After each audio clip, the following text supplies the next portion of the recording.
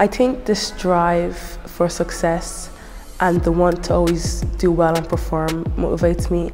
There are so many women in Ireland that are so talented over all sports, but maybe their talent isn't recognised because a lot of women and a lot of girls drop out of sports, maybe near the age of 15. That would be before their talents are recognised. So I think to have such success in women in sport now would increase the numbers of girls and women participating in sport.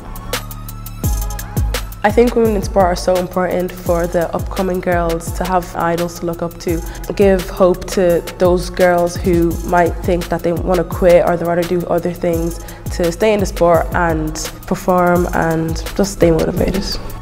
I'm Rhasidat Adeleke and I do athletics.